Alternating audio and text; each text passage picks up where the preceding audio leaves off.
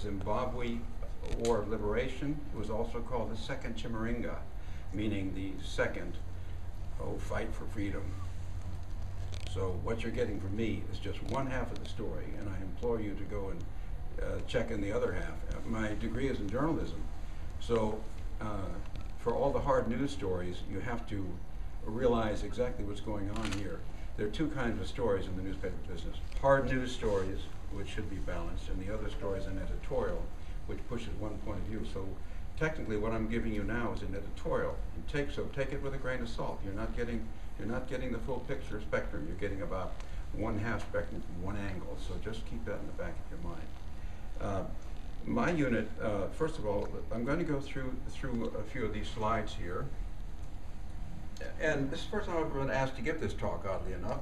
So it's the first, uh, first kind, first of ever, and we'll see if we can get this going here. But this is uh, the baobab tree. It's an upside down tree that could well be 12 feet in diameter. You see all this all over southern Africa. And you notice the bush around it, the little hills. Don't think of southern Africa as being a jungle. And also, the weather in, for instance, Rhodesia, pretty much is, is very much like those 85, 84 degree days we had all summer those 90 days. Uh, southern Africa is close to Antarctica. Don't think of high temperatures. Uh, it was really beautiful most of the time, is beautiful most of the time. Um, so that's uh, a small introduction. Now let's, let's go, keep going. This didn't come out quite so well as I hoped, but let's use this pen. This, push that. Here we go. Um, this is uh, the southern third of, of Africa, um, and this is where um, Werner's, Werner Vosloo's ancestors landed in about 1680. His Dutch ancestors landed right there. So this is his part of the world. In his, uh, I was involved in what we considered a uh, very much a Cold War chapter, and so was Werner's father. So he and I, Lawrence and I, are both what we consider Cold War chapter um, veterans. Uh, so in any case, Zimbabwe is up here. Now Zimbabwe used to be called Rhodesia until April of 19 of, of uh, 1980, and this entire area here was an, an inc- incredible hotbed since about 1960 uh, through uh, through 1980 of liberation struggles, which, and again, this is opinion, which in fact were backed by backed by uh, either Russia or China. In Zimbabwe, both Russia coming from the west and the Chinese coming through Mozambique from the east, training training uh, tribes, a certain tribe there coming in, and this, they were in fierce competition. Let me go through here, and we'll we'll pick up with that later. Fierce competition. I want to give you a little bit about my background. Uh, I was a newspaper reporter on, on four different dailies. This was on the Houston Post. This is before I joined the U.S. Army. And here, I'm going to make incredibly critical comments about Southern culture, about African culture. You'll hear me make really sarcastic, derogatory, but it's against the culture, and it's strictly opinion against the culture. It's not against the people or their capability. This is Houston, Jackie H. High School. Jack Yates High School, all black public high school. Their scores were equaling all the white scores. Fantastic school, all black. And I'm getting honored for a civil rights campaign. I was the top civil rights reporter in Houston, male, that year. For a police brutality case, by the way, interesting, but from Conroe, Texas, involving police brutality against two white gangs from an area called Cut and Shoot. So, but I was honored in that case by the school. That's the senior right there who put on the whole program. That's me as a, I was a Green Beret officer, but I got snagged into staff duty during my year in Vietnam. So I'm a staff officer and was very frustrated by that. I was a fully qualified uh, Green Beret officer. That's my Green Beret over there. And so I was frustrated. That's the commander of all the Green Berets, and that's me getting a Bronze Star, but not for valor, it's for exceptional achievement in a uh, combat zone. So I'm a frustrated guy. I've just been through a war and didn't participate with all my training at the School of Infantry, Fort Benning, Georgia, and at Fort Bragg. That's me uh, seven years later in front of my African soldiers. And they are carrying, by the way, you'll see some interesting things here. You'll see this, they're carrying precisely this particular rifle called an FN. And by the way, I've personally checked, they've all been cleared. You notice I'm not pointing it at anybody. This was a, something designed in Rhodesia. I hadn't seen it for 35 years. It was designed to keep the rifle from jumping up on, uh, let's say, bursts of three or four. So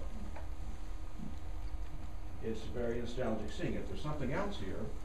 Eric is fond of camouflage, uh, uh, camouflaging, in which we were given paint just like this. This is camouflage, just like the rifles in the Rhodesian army were camouflaged.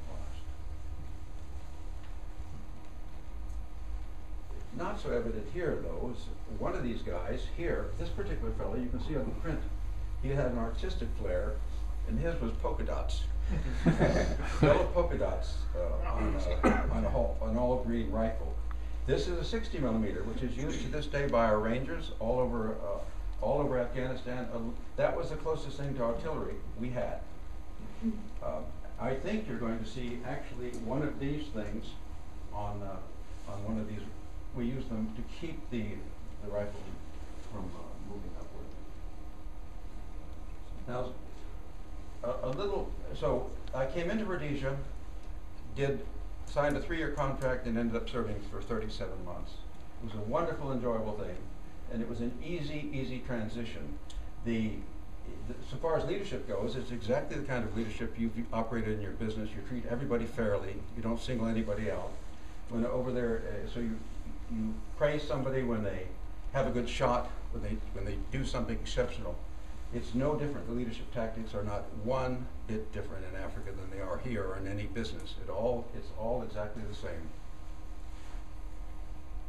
It was like one big country club. It was very much a regimental system, a British colonial regimental system. Everybody was friendly. It was a very pleasant, pleasant experience. This is one of our heroes. That's Silver Cross of Rhodesia.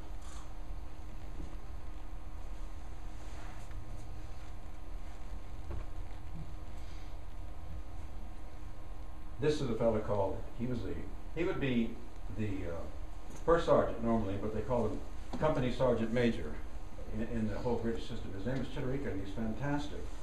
And while we were going through this last night with the lady who arranged it, which is Nicole Alexander, she went to her computer and found relatives of this man in Harare, uh, Zimbabwe, which is in fact used to be Salisbury. So Chitterika is his name and his relatives are out there and are findable it's a, there's a wonderful, happy, joking relationship there. That's, again, uh, at a, a funeral ceremony, whenever one of our soldiers from the entire battalion, and we had five companies, would get killed, it didn't, didn't matter what part of the uh, Rhodesia he was in, because the communist terrorists, and we call them CTs for short, were in all of the tribal trust lands. They were everywhere. And what we did was go out to the tribal trust lands in this country, which is no bigger than Montana.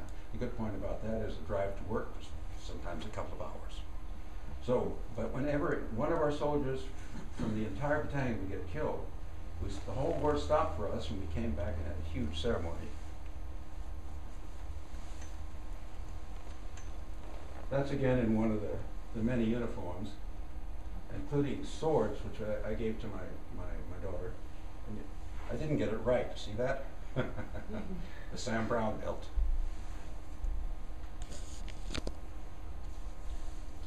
Uh, for morale building, about every four months, we would bring everybody into camp and have a big party. Um, this is a, there are only two kinds of beer, and that was, it would be Lion Beer and Castle.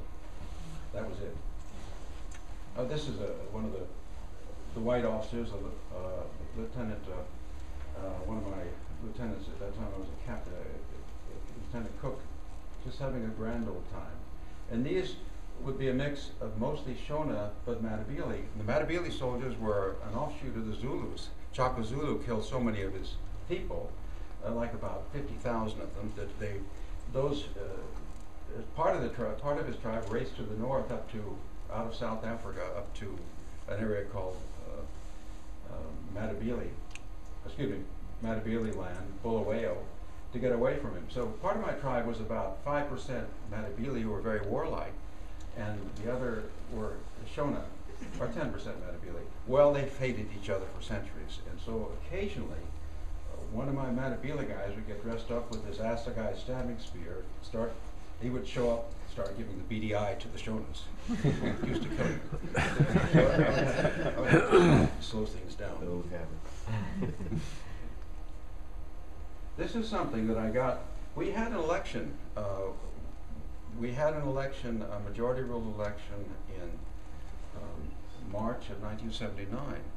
Uh, had it been recognized, the whole history would be different, uh, but it was not recognized. It was, uh, I was cited for my help in securing a large section of Zimbabwe for the first majority rule election.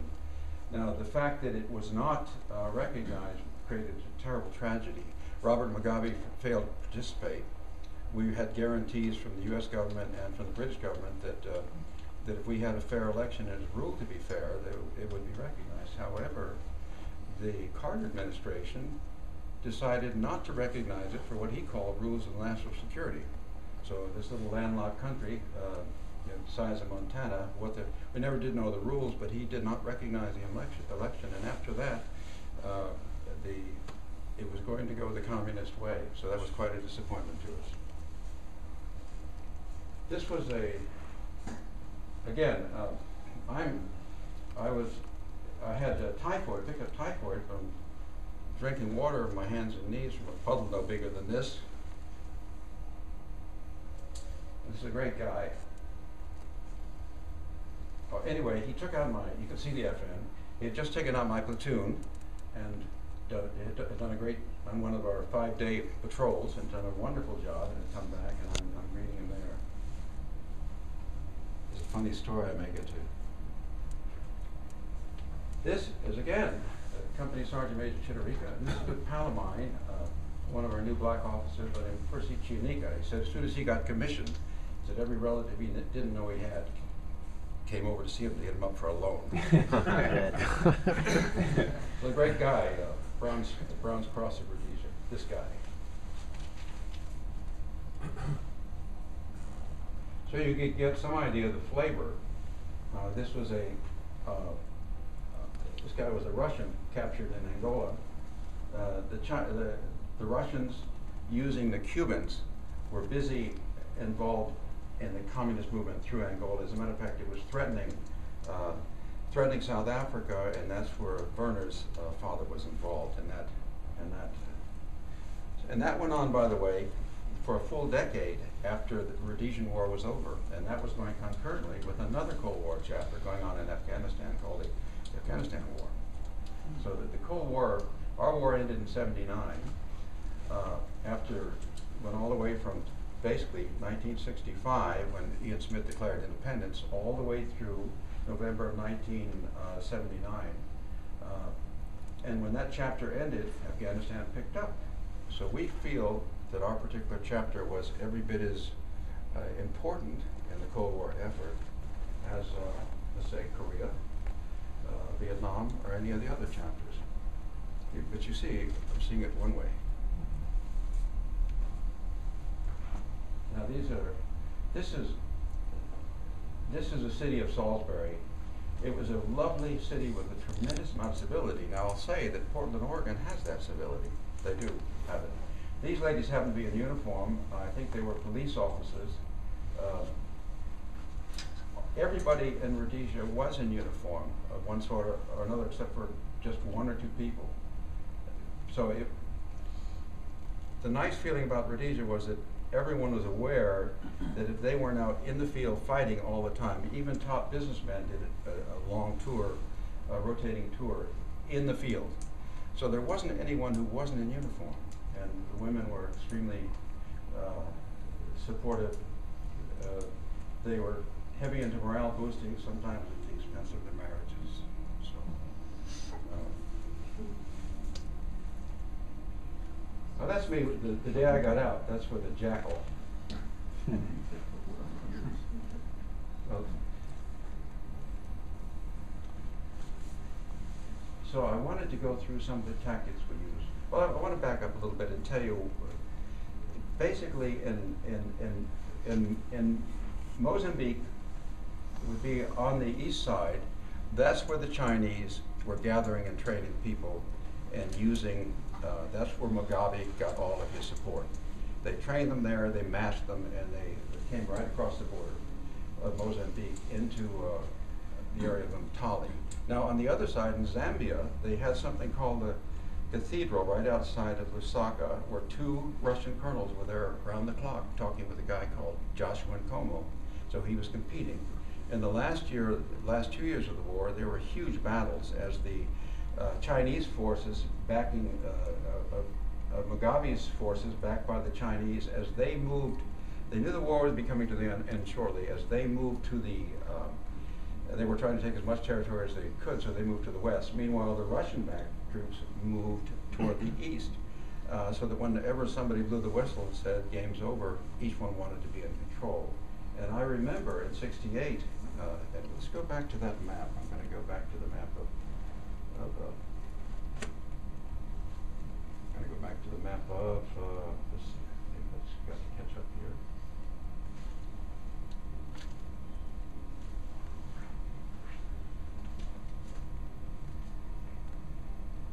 But I was going to point to, point to where it was on the map, but let me show you the map. We'll do it this way. First of all, this is a picture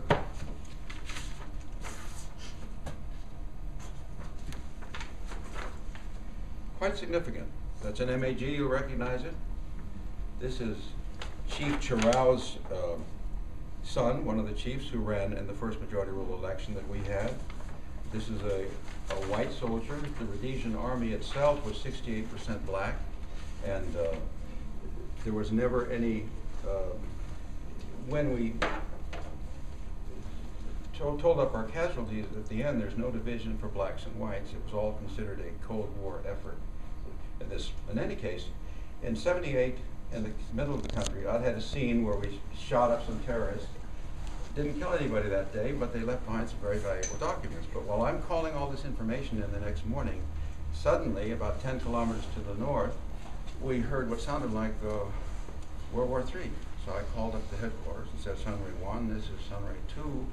Uh, what's going on? Does someone need help? Uh, and he said, no, it's, that's the two sides uh, battling each other. Zanla and Zipra, just, just stay out of the way, let them go at it. so, so they were each individually fighting us and fighting each other. And so, it's, so it's quite a dynamic. So we stayed out of the way in that situation. The Chinese communists are fighting the Russian communists? Yeah, basically, yes. Or the surrogates. It was a proxy. It was a proxy war in which the, uh, in which the various liberation movements throughout southern Africa, uh, in fact, uh, used the very legitimate, uh, let's say, liberation aspiration, uh, aspirations of the black population. The problem was with, with, with liberation was it never turned out to be liberation. It Didn't turn out to be liberation at all. As a matter of fact, the, the uh, Zimbabwe is a classic case. Those people living in a real police state, terrorized, no one can do anything. So it's quite a sad situation, very, very sad. And everyone knew it where we were at the time. Uh, the Carter administration and Andrew Young, Andrew Young would spend a lot of time there. We explained that to him in great detail. He's a former ambassador to the UN, and he's still quite prominent in politics. We said that, listen, of all the candidates running, Mugabe is the ringer. He's the bad guy, and he always will be bad.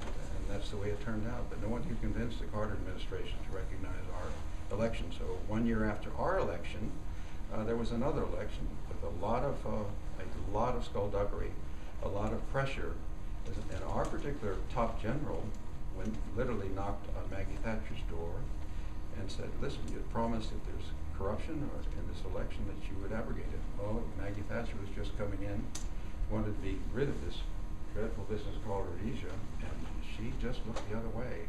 Hmm. So uh, at that time, she hadn't grown the, the steel spine; it was the linguini spine. On that. But I want to go into the, the, the tactics that he used. And let me turn this off for a second. Um, So, So, sir, when you, when you were in Africa, were you still U.S. Army or were you in their army? No, I was a regular member of the Rhodesian Army. Okay. As a matter of fact, I uh, signed a three-year commission paper. Oh, that's right. You said And I was a, um, there were, uh, I was getting about, oh, a thousand a month, what everybody else did. Percy Chianiki got, we got a thousand a month, uh, regular pay, regular, regular soldier pay. Never so rich in my life. I was in the bush for forty-two days out of fifty-two, and so money piled up. When I came back, went to the best hotels, you know. There Rich. Uh, but I want to, let's see, where's my hand? Oops, that wasn't this. I want to show this. Uh, our tactics. And it's the tactics that we use very effectively. And our kill ratio was twenty-two to one. We killed twenty-two bad guys for every one of us that were killed. So I'm putting here hammer and anvil so you can get some idea. I've never, by the way, given a talk, and I've heard very few talks on, on, uh, on what was going on there. I put these together last night. Just wanted to get the idea of hammer and anvil. Plus, my own code is the, the blue, these are the good guys, and the red are the communist guys. We call the com- communist troops CTs, meaning communist terrorists.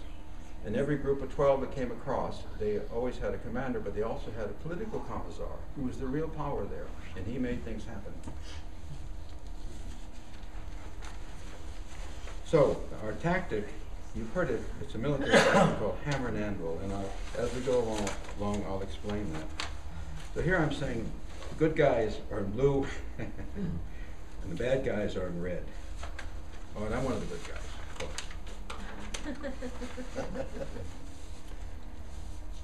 What have we done here? I I didn't fold it over. The Wrong way.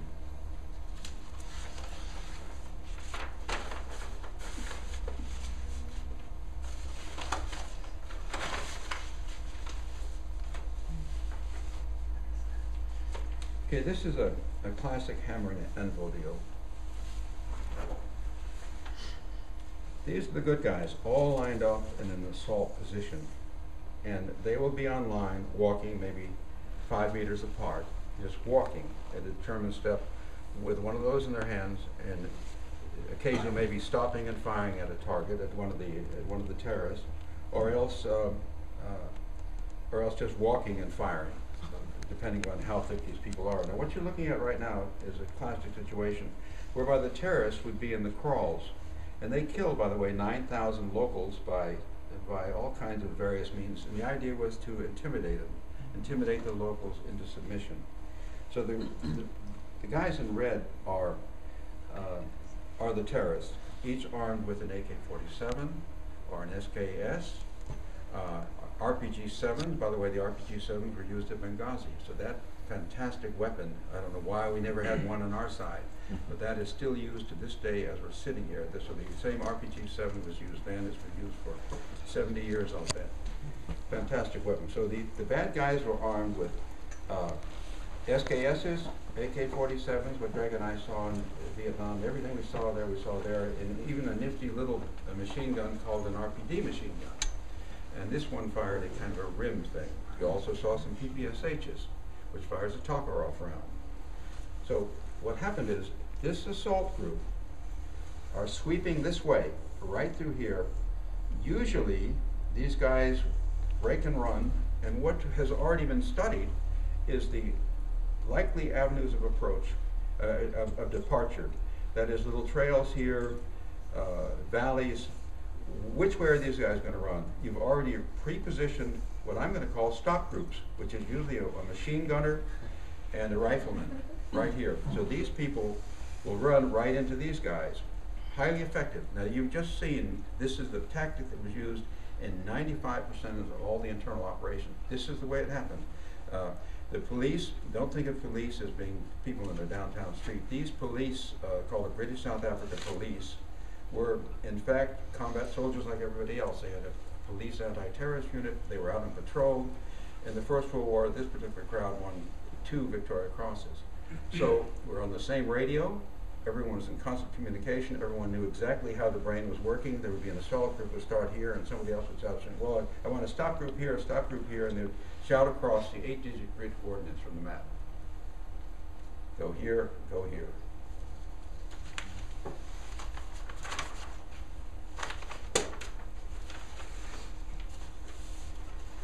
Now, this is an actual operation done in nineteen seventy-three, which, which tells everything, uh, that will, brings everything together. A good friend of mine, David Scott Donlin, uh, actually eliminated a group called Frolizi. Now, Frolizi was competing with these two groups I mentioned. Zanla, which was the Chinese backed, and Zipra, which was the Russian backed. Uh, this group wanted to take over from them and grab control of the entire so-called either liberation movement or the, whatever you want to call it. Uh, so, the way this all started, uh, Scott Donlin got a call that a farmer had been shot. It had been very tranquil in this area in 1973, about uh, 70 miles southeast of Salisbury, which is now Harare. They got there found the dead farmer there, drew crosses through his eyes. He had gone to investigate some noise, and suddenly he got, he got shot by somebody with an, either an SKS or an AK-47 was shot once. Well, in this particular time, it was an absolute uh, winter, dead of winter. It was frozen. The ground was frozen. It was so frozen that hippos were dying. Highly unusual, but it was that cold.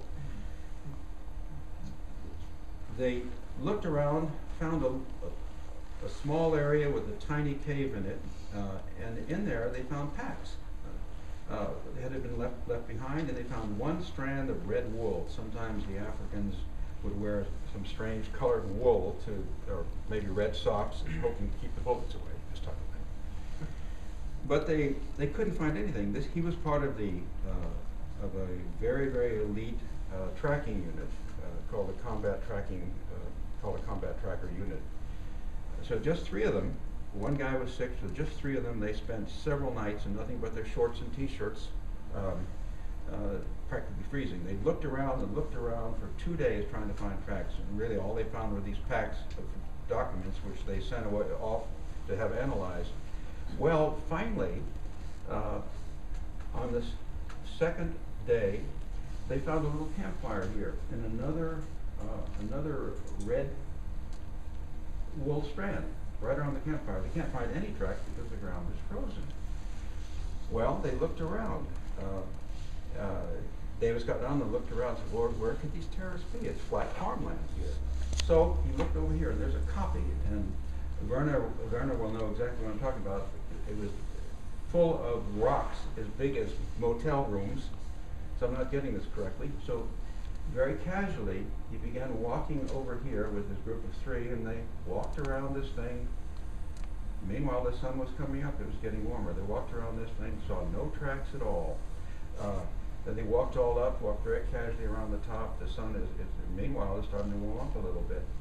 Uh, right at the very top, there was a little bit of sand. He found what was called a heel strike, a heel strike from a boot. Uh, well, of course, it made the, the hair stand up on the back of his neck.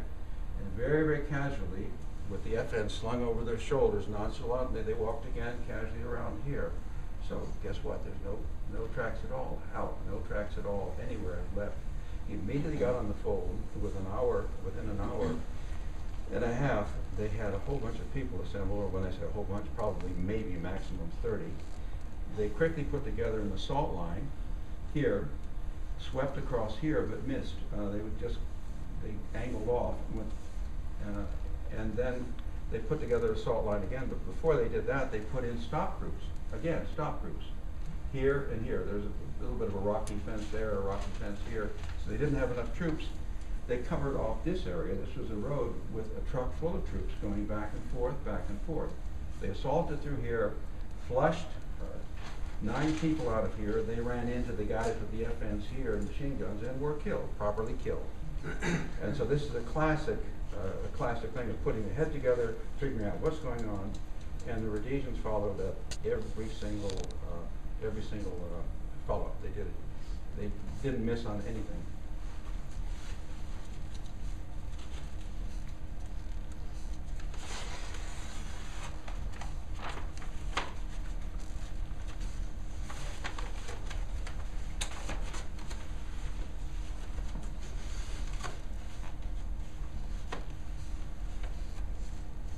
This is a, you've heard of Fire Force?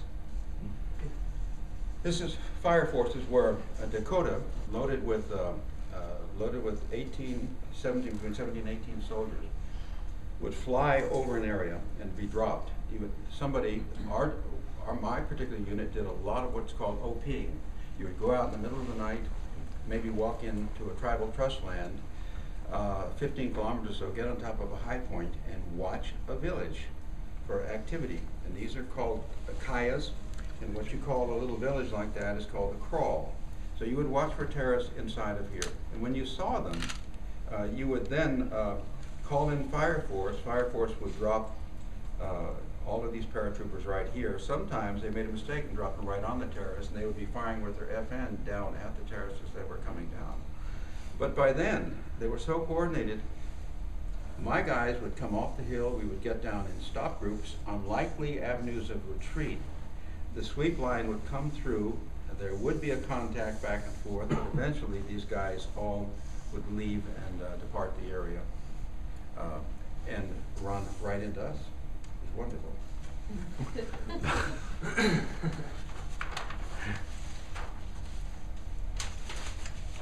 So, uh, when you're in the bush, tactically, only three things that can happen. And we'll go over these.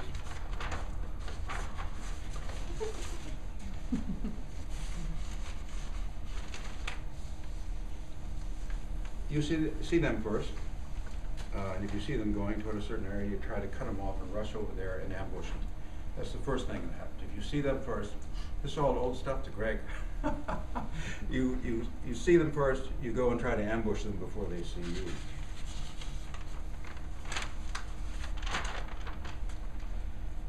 Or they see you first, uh, and they, uh, they ambush you. And so what do you do if you're ambushed walking along a trail and you get ambushed? There's only one thing to do. If you're walking this way, you turn into it and fire, walk right into the ambush and go over the top. And believe it or not, sounds murderous, but a lot of people have come through those things without a single casualty. So there is no other choice. If you're ambushed on a trail, you have to turn in. You have to turn in. And uh,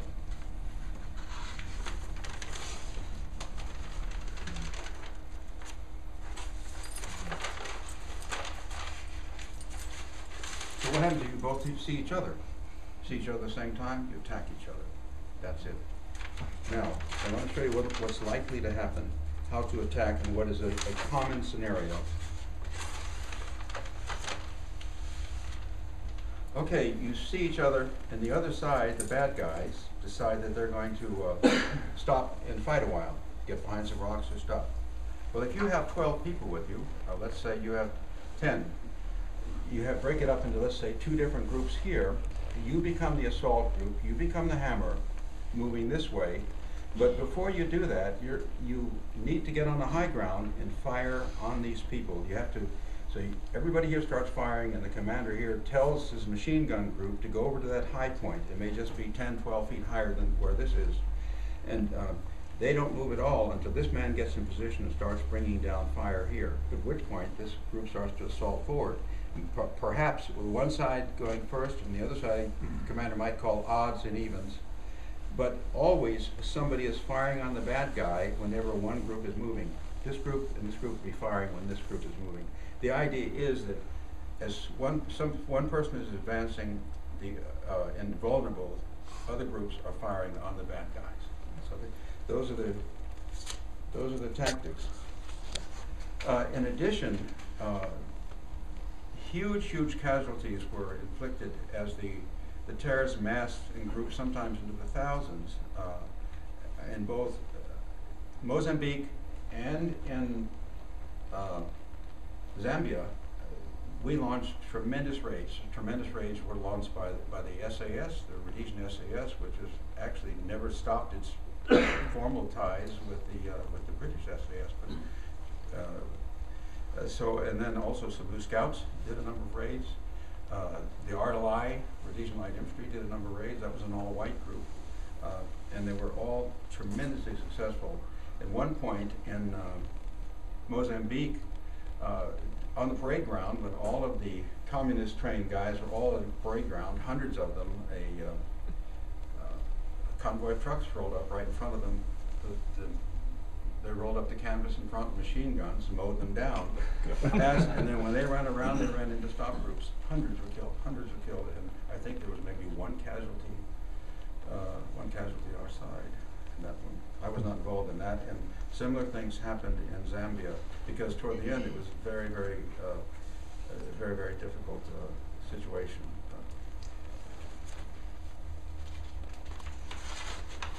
That's that. Uh, the other thing, um, uh, so what was it like? What was social life, life, life? The social life was, you had ten days off or five days off, and everyone went to the two major cities, either Bulawayo, which is a little to the south, or the, the, the main city, Harare. Now, we're not talking about a lot of people or big cities. Uh, probably at that time, Rhodesia pretended to have three hundred thousand people, but I doubt they had a hundred thousand. The entire country of Rhodesia, uh, I think was never protected, never had more than maybe a thousand people on patrol. Uh, And so it was uh, just very, very few people, and what one learned about it is that it doesn't take many people, if everyone's on the same page, just a tiny number of people can do tremendous things, and that's what happened in Rhodesia. Uh, eventually, uh, uh, basically they ran out of, uh, there just was not, uh, just a, just, not enough reserves. Also, I wanted to show you something, will gi- which will give you an insight. I finally got a document, that I've been trying to get for a long time. I sent to the chief of intelligence, and his name is John Redford. He was chief of all military intelligence. Um, I said, listen, I'd like to find out some document that would link this whole, the, the communist link. Uh, and he, he, uh, sent me one finally. And I'd like to.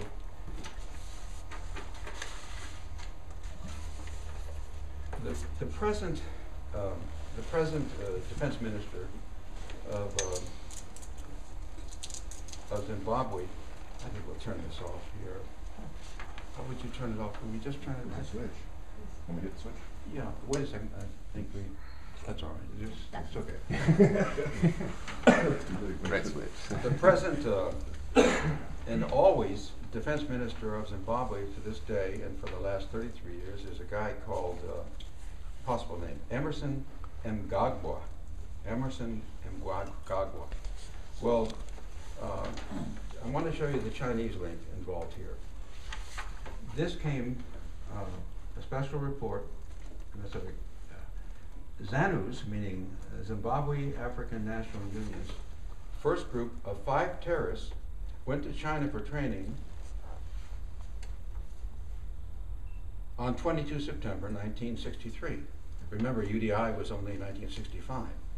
Uh, the group was led by Emmerson Mnangagwa, uh, Zimbabwe's current minister, minister of defense. Now, but it gets more interesting. But that, that was when he was about 16 years old. It would have been because he's only 65 now. This, the, um, Zimbabwe's uh, Harare's top newspaper, the top newspaper in town, actually reported this of a visit that happened earlier this year.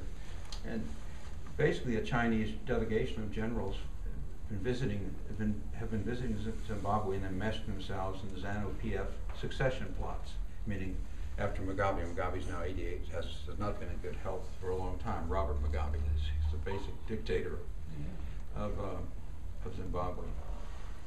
Anyway, uh, uh, a, uh, a secret pact rubber stamped by the aging Zimbabwe leader and his security uh, service chiefs. China thinks M- Mgagwa is the one qualified to protect their vast economic interests in the country.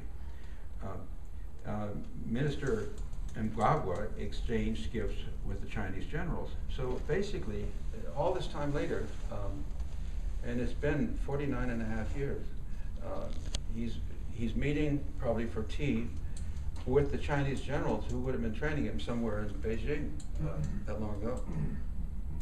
So, What was the communist main interest in that country? Oh, tremendously. Uh, Sixty percent of all the, the Western world's uh, chrome ore is in a, a mountain range called the Great Dyke. Uh, and it runs diagonally through the country, ba- basically from Bulawayo, and it's got all of this really, what's called high-grade lumpy. But the Chinese now own a brand-new diamond mine which they have armed guards patrolling it right now and killing anybody who sets foot on it. They've al- they're also building a new intelligence and police training center right outside of Harare. The Chinese have a tremendous problem that Africa is helping to solve. One, they kill off all their little girls, as many as they can.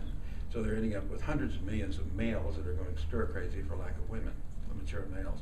So they're sending them to Africa, and they are marrying into the local women, and they're living in these huts, these kayas, and then in the morning they go to work at copper, copper plants or, or any kind of factories and mills. So uh, the Chinese are steadfast, and let me tell you what the deal is, the quid pro quo. Uh, all of these corrupt leaders, and they're all corrupt in Black Africa, they're all corrupt, it's just a matter of degrees. Um, and it's a culture, again, it's a cultural thing. There are no success story, success stories anywhere in Black Africa that doesn't have a euro dollar or, or a Yankee dollar, excuse me, or a euro or a Yankee dollar involved with it. Try to find one. I've been trying to find one for 50, 50 years. But so, uh, this is the way it works. If anyone wants to take any action against the, any, any of these thug dictators like uh, Mugabe, uh, guess who sits on the Security Council? China vetoes it. It's that simple. So that's why you near, hear never anybody taking any action against any of the bad guys in Africa, because China is so invested economically in this whole area. And they have the same contempt for the African leadership that everybody else does, that everybody else does. Uh, it's just that uh, they have, they have been steadfast, uh, they've been a steadfast figure there and have been supportive of all these thugs, and so they get loyalty in return. They've come out on top, and uh, Russia's only just fell, fell behind. There was so much friction between Russia and China that on Independence Day, so-called when Mugabe took over in April of 1980, that there was almost a firefight between the, they almost didn't let the Russian plane land, the delegation to participate in that particular thing. I want to show you a few other things too.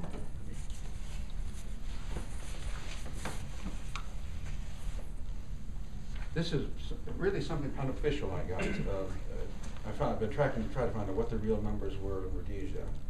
Uh, Well, communist terrorists killed inside of uh, Rhodesia. This is from the total period of basically from six- 63 all the way through November of uh, 79. 13,332. Uh, CTs wounded, 5,000. Uh, Rhodesian security allies forces killed, and this is 1259. Now remember, more than half of these will be African soldiers who were rabidly anti-communist. Um, so security forces wounded, uh, 7,000. Civilians killed by terrorists, this would be in the tribal trust lands, 9,512. That's what they call terrorists. Civilians wounded by uh, terrorists, 7,622. I also wanted to show you something that, now we're going to go back to that book, something in here that, when we say terrorism, I'll tell you how you, you get the allegiance of the, of the locals. Didn't you say there was like a hundred thousand people living in Rhodesia at the time? I'm sorry, uh, I should have said 100,000 whites. Probably 100,000 whites and about 5 million Africans. Oh, okay. I was not clear, uh, Eric, sorry about that. This is a, somebody would get their lips talk, cut off if someone felt like they were talking too much to security forces in, in the middle of tribal trust lands, which were sectioned off areas to protect Africans from any sort of exploitation by whites. They were in tribal trust lands. And again, that's a, an opinion, that's an opinion. So this guy was a tri- uh, tri- tribal leader and he was shot, so it just goes on, you know, for nine thousand people were. This is, by the way, the RPG seven, uh, classic stuff. I wanted to read you, just don't think it was just, um, just Zimbabwe. This happened in, uh, the area of Congo, uh, Brazzaville. Uh, This is about six hundred children, nineteen, up, came out in the, the, the Sunday Mail. This was happened in, Oc- published in October of seventy-nine. Basically, six hundred kids were rounded up, they had tested well academically, very bright kids. They were rounded up by the Cubans and flown to, um, Havana to begin a fifteen-year, uh, training program. Now, what's horrendous about that is their, their parents objected, they were told they were going on some sort of a scholarship thing, and then they were, they're shanghaied, and, uh, the, the, the school where they came from was compounded, there were troops around it, the parents were in prison for a while till they get the kids on, the kids got on the plane, were taken away, were basically shanghaied. And so this has been going on. And we had in Rhodesia something called the Manama, Manama Mission, where a hundred kids were marched out and just marched across the border into Botswana. Do you remember the movie The Gods Must Be Crazy? Uh, where all those kids were marched away? Well, they had the evil Afrikaner, the Boers doing it, but in fact, uh, the, uh, uh, in this case, or this happened many times at many missions. And there was very little religion going on in uh, Rhodesia when I was there because World Council of Churches was busy financing the terrs. Uh, by the way, I happen to be a Catholic through my Irish heritage on my mom's side, Connecticut Irish. But the Catholic Church was up to their ears supporting the, the terrs. All but maybe one mission, they were all up to their ears. Uh, so pretty, pretty depressing scene. I wanted to, this is a map of Rhodesia if anyone wants to see it. But we had an ally. Uh, every, the, my particular unit was the Rhodesian African Rifles, and the Queen Mother, remember, lived to be a hundred plus, uh, she was our regimental, uh, regimental colonel, so to speak. So every, despite the fact that we were an outlaw colony, as much a pariah in the world then as it is now, because we were the evil, don't forget, the evil white racist regime of Ian Smith. Um, the royals they maintained contact. Uh, particularly, uh, Queen Mother, and this is Prince Philip. Now, they have, in, in UK, they have Remembrance Days every, on, in November, and he would come, because they have the Field of Remembrance, and he dropped by to, uh, you know, basically to pay tribute. Uta took that picture. My wife back here. So what's funny is she, she's taking a picture, a full German, of a half German, because the royal family over there is about half German. They're funny. Uh, this is an article New York Times did on me, um, in which I talk about uh, what, what great fun it was to serve over there and how disappointed I was that our uh, election was not, uh, was not recognized. The prime minister that we elected, who I voted for, Bishop Abel Muzorewa, um, he was dropping in and flying in to uh, uh, thank me and my African soldiers for protecting a big section of the country uh, for that particular election. So I'm bemoaning the fact that we haven't been recognized. So how was the UN involved in all that? Didn't they put, those in an embargo or something?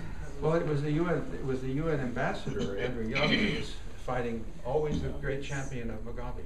So he was fighting to be the, fighting uh, to keep. So the USA was every bit as involved as UK was in imposing the communist rule that's there right now. Uh, Chinese back. Oh, and about the social, uh, the, um, during that particular time, uh, Rhodesia was an absolutely sex-mad place. It was about like, uh, about like London was during wartime London. Everybody was nervous, no one knew what was going on. So what would happen, and the sort of thing, my story is a classic story. Went to get a haircut just in country. Uh, the lady, a lovely lady with an hourglass figure, she'd come over from Britain, she came over for the army, but not to join it. Uh, so, she's, uh, so she said, well, you're my last customer, and this is downtown Bulawayo. She put the the close sign there and closed down the blinds, and the next thing I know, five minutes into the haircut, I felt like I was, uh, what's her name, the, in the Wizard of Oz, Dorothy, whirled away in a hurricane.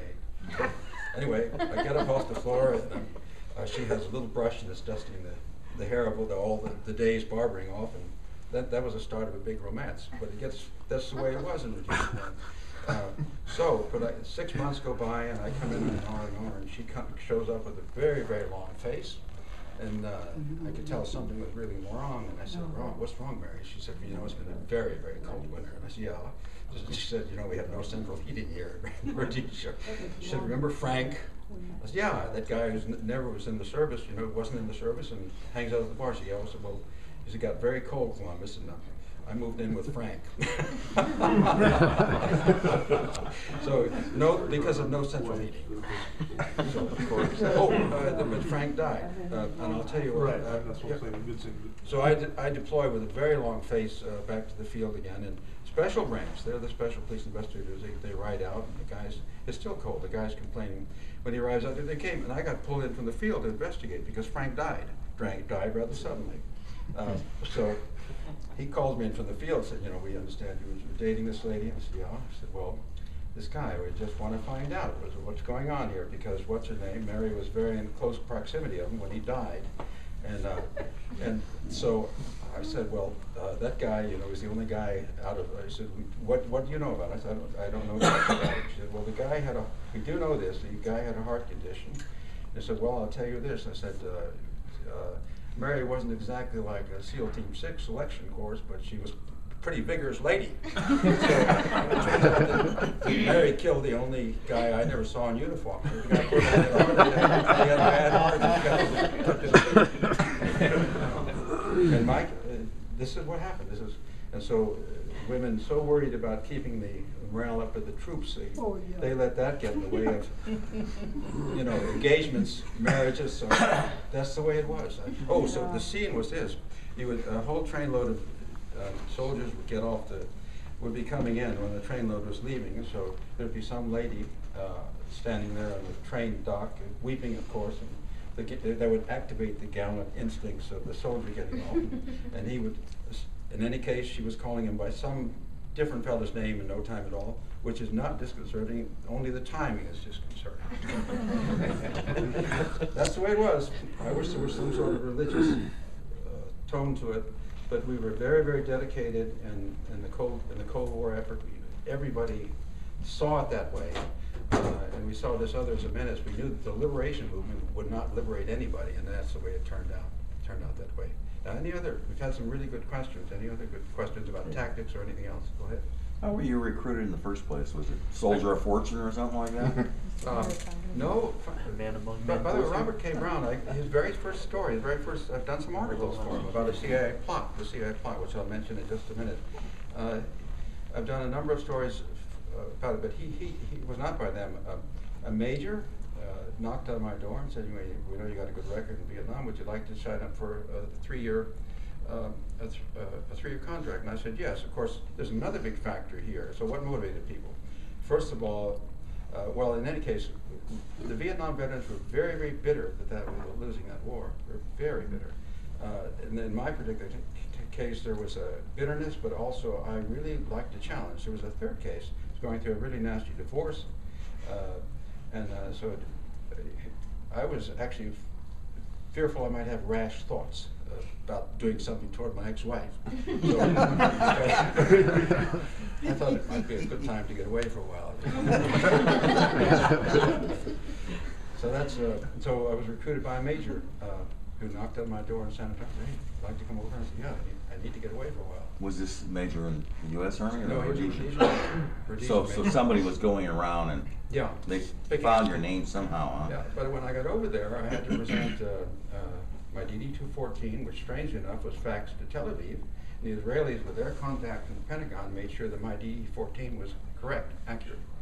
Uh, And so they verified it. Now, I've got to tell you about a CIA plot that came over at the end. The CIA pretended to be, and all, pretended to be a friend of Rhodesia. And at the eleventh hour, knowing we were on our last legs, by national support, I never lost a battle, by the way, but uh, they came over, headed by a guy called Robin Moore, uh, who wrote the so, who wrote the Green Berets, which was of course my own unit. Uh, uh, he wrote, and he came over with a guy called Vernon Gillespie, who was the the model for uh, John Wayne in the movie The Green Berets. So this guy was a decorated Vietnam guy, and they came over pretending to come in in the clear. We're the CIA conservative branch. We want to help you. But what they were doing was collecting information on all the Yanks and uh, sending it back.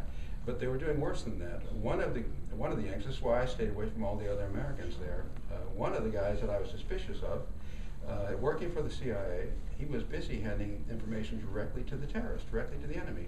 Uh, so this was going on. So at that particular time, toward the end of the war, you had UK against us, you had the USA against us, uh, the CIA against us. So the East and the West, uh, to say nothing of the communists. So we were in a certain pressure cooker, a horrible pressure cooker during a Cold War Chester. It was a nightmare. It was a nightmare, and we just just finally ran out of reserves. They asked me to extend, and that last month asked me to extend another month, and I did, so I did a total of thirty-seven months. Don't regret one day, it was a wonderful experience. I got a question, it's not military. What was it like having typhoid? That must have been bad. heard- There, I found out there are many, many kinds of typhoids. My particular type, I got just kind of weak in the middle of the day, middle, middle of the day. Other stuff will make you real sick and kill you dead, won't it? I mean, the other type. Yeah, it will. And what happened was uh, that uh, we just ran out of water. We just ran out of water. And there was a little pool of water as big as this table, got down on my hands and knees, my African soldiers. We were happy to get it and drank it. But it was slimy. All the cows would stand around it. They would drink and then urinate. It would go into there. And I feel the slime, could feel the slime going between my teeth. And it just was grand getting a drink of water. Oh, another little story about Africans. Uh, we were in the middle of a place called Matibi Two. It was dry, dry, dry, and uh, suddenly we couldn't find any water. So suddenly, I- I'm the so-called leader. I'm one of nine, and suddenly the the pace of the Africans pick up, and we walk. They walk for two hours. Suddenly, I'm just another groupie in this crowd, and they walk straight to a water pump uh, in the middle of nowhere, a hand pump, uh, and uh, they smelled it smelled it. There was only a light breeze going, but they smelled it. Somebody had kindly left something, some water to prime the pump. We got some water going. That was a happy day. Also, one of my soldiers got got um, really taken down by uh, the witch doctor, possessed by evil spirits. Now, what had happened was that they had uh, the Africans have our soldiers had very strong taboos on certain sexual activities. So he'd come back to the bush. His girlfriend had sent him a letter and said, basically, ha ha. We just violated a rule. I was supposed to wait six months after sex or um, a miscarriage before you can have sex again. Um, excuse me, after a miscarriage or birth, have to wait. Well, well, guess what? I didn't. So this guy was suddenly possessed by evil spirits, um, and in the middle of the formation, it collapsed, is rolling around.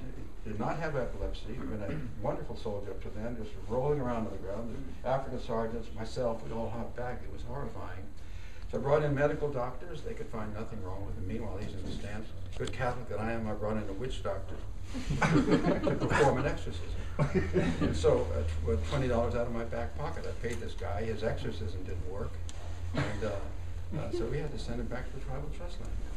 And nobody jokes about witchcraft in Africa. I'm just wondering, were there any repercussions to you personally when you came back from Rhodesia by our government? Yes, I was the most current uh, anti-terrorist, uh, rural anti-terrorist guy around. I was 10 years ahead of all my Vietnam contemporaries, and I tried to get a job right away with the Vinnell Corporation, which is a part of this kind of a CIA kind of deal, and, and, the many, and others. And they said, "Hey, wow, you got what a resume here. We don't have anybody like that. We'll get right back to you."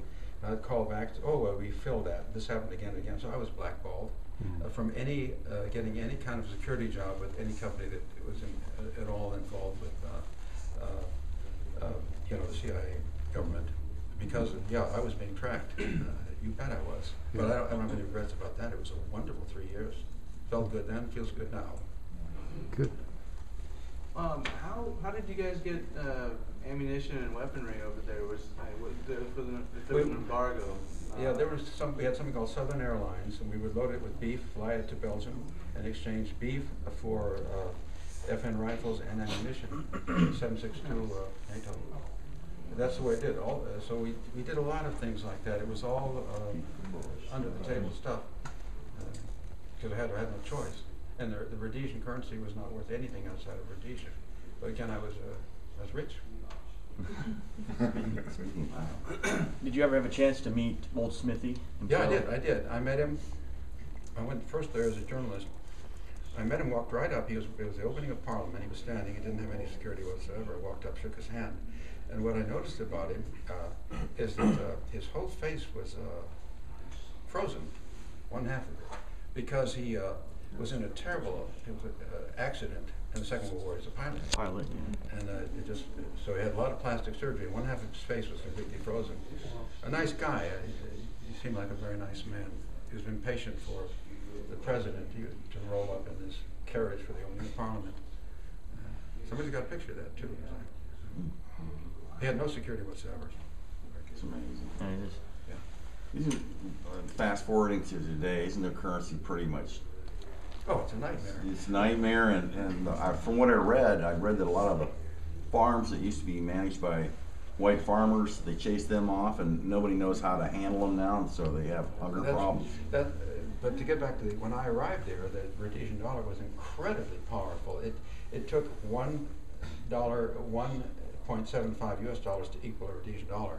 So it was a incredibly powerful. Now, what happened between, uh, two thousand and two thousand and, uh, uh, was a takeover of about forty-five hundred, all, basically all the farms in Zimbabwe were just taken over by so-called former terrorists, but every, every, and it was, what happened is, these rich farms, which were as well-run as any sort of a Texas rice farm or any highly sophisticated, they're all, all the irrigation pipe has been stolen, sold off, every fixture in the farmhouse has been stolen, they're all fallow, they're all, so they're depending upon the, the food being shipped in. Even during the war, we were sending excess food to our enemies on either side, just because they were starving. Uh, we're talking about Zambia and Mozambique, just carloads of grain and everything else. It was a, well, it was a, it was a Shangri-La. Uh, Rhodesia was an absolute Shangri-La, and during election day, and I thought I had the picture, uh, some pictures were taken, every African there was, um, ten to fifteen pounds overweight. Uh, the attitude toward Africans was absolutely paternalistic, absolutely without any question. And they were fed and this type of thing, so, uh, on that, I never saw, by the way, I never saw any poverty, they could be labeled poverty, and I never saw any slums, it just wasn't permitted. Wow. You know that uh, Mugabe just took Smith's farm. I didn't know that, I saw that in Thanks. the news the other day, just a couple days ago. didn't know that, missed that, just took it. And I know that his wife Has it been in also, his family for, has has it been, even after he died, it stayed in his family? Oh, wow. Yeah, and his ashes were just Absolutely, I deposited think- there like two thousand seven when he died. Wow. what's that again? Oh, I said his ashes returned there like in two thousand seven when he passed away and mm-hmm. Yeah. So they just forcibly took the, the land? he's campaigning on hundred percent this time. Fifty-one percent of the land's not enough. He's, he's saying hundred percent this time, Mugabe. Strangely, uh, I, I confronted Andrew Young three days, three years ago, right here at Portland State when he was there. I said, listen, you know, uh, he was, he's quite embarrassed. I said, you, you were the guy, you and Carter promoted, uh, were really promoting uh, Mugabe, despite the fact we told you at the time that he was the full Marxist here, that he was the worst possible news. And he was very embarrassed, uh, and I never, it was very difficult for me to do that. But he was very embarrassed, and basically he told the story, well, he was a good guy gone bad.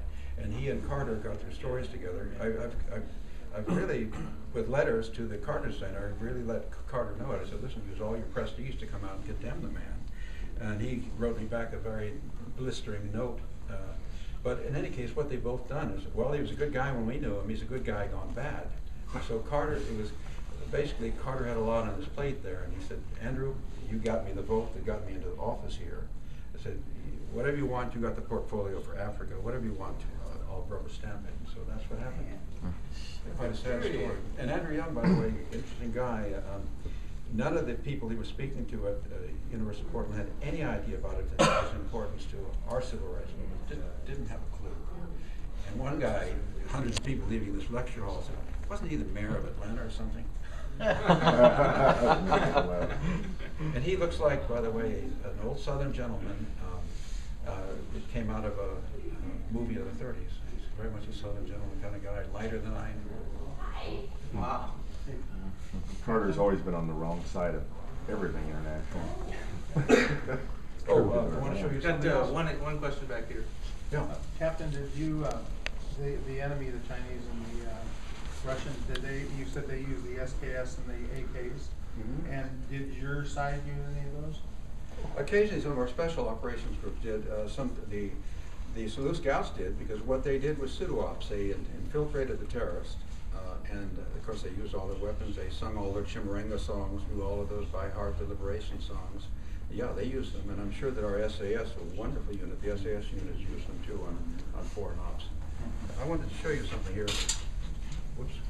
If you, if you wanted to know why the, uh, uh, why the, there was tremendous push on all the British colonies to either, we'll give you independence if you go for majority rule. I wanted to explain why the, uh, uh, this is a pack I carried, I think I mentioned that. This is a, you've heard of the Mau Mau thing that happened in Kenya?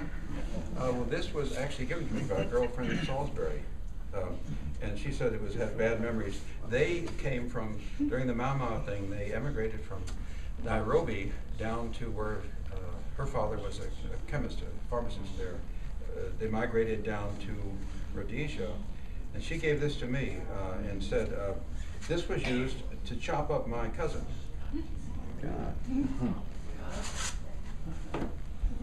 And uh, they made them out of, I've never touched it, these are all made out of leaf springs on cars. It's called a CB, it's a machete. It's about 18 inches long. And you can see all chips on here. And these were chips from, to know what chips from bones look like? Would have been this. Now, what's interesting about that, the Mau Mau's, the Kikuyus, it was all part of the liberation movement. And uh, the army traced this group down, which, who killed 34 uh, basically settlers in the middle of nowhere, a total of 34, but another 1,800 um, uh, Africans. And that was all part of the so-called liberation movement. So uh, they wanted, uh, the people who came from Kenya wanted nothing to do with that. So, and in addition, in uh, Belgium simply gave the Belgian Congo in the parliament by a stroke of the pen, gave them independence. Well, after that, an outfit called the Simbas that uh, Major Mike Hoare chased around, they did horrible things. They went to all the, the yeah, the Belgium, uh, the Belgian Catholic missionaries, uh, missions, convents, rounded up all the, the nuns, and well, it was too horrible. Too much information. So you have two things going on: the why they didn't up for independence. One, the fact that there was no demonstration that it, it had ever worked, and two, uh, the the backing by the communists. Now, having said all this, you need to do independent research and to find out the other side, because I'd frankly like to know. Uh, uh, anyway, what your opinion is, but there are no good stories coming out of Africa, and that's because of a, a culture which is terribly, terribly uh, misogynist and uh, locked in a world of spirits. And I have a totally different look at colonialism. Colonialism kept like a lid on a pressure cooker, tribalism tamped down. You saw what happened in Rwanda when suddenly the French left. Well, the Tutsis, when, uh, excuse me, the, the Hutu went and chopped the Tutsis, you know, really, literally chopped them right down here, gave them a split personality, killed about six hundred thousand. So everything comes back, it comes back up. So I don't go along with this idea that the colonials, what happened in, is that the, uh, Africa is just resetting, just rebooting to, uh, the way it was, uh, you know, a thousand years ago. Wow. Go ahead. Do you think there's any hope that Zimbabwe will ever get truly liberated, not be communist No. anymore? No hope for Africa. Maybe the only hope, oddly enough, is uh, China, and that's no hope for us. So China has been a plus for Africa, but not a plus for anybody else. They're building railroads and mines and factories all over Africa, You know, and basically stripping of its resources. they're getting in their camp. you know, indeed. Wow. It's absolutely fascinating. Thank you so much for, for serving over there. Oh, yeah.